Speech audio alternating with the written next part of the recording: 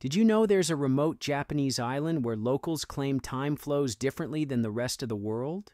On the mysterious island of Iriomote, clocks reportedly run counterclockwise.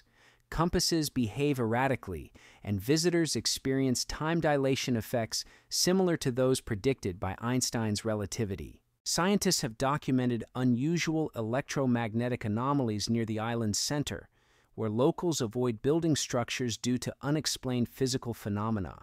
Visitors frequently report losing track of time while on the island, with watches running slow or fast by several hours after just a brief stay. Geological studies reveal the island sites directly above a unique crustal formation where tectonic plates create a gravitational anomaly that may affect the fabric of spacetime itself. Japanese researchers are now installing advanced quantum measurement devices on Iriomote to determine if the island truly represents a natural relativistic anomaly in our understanding of physics.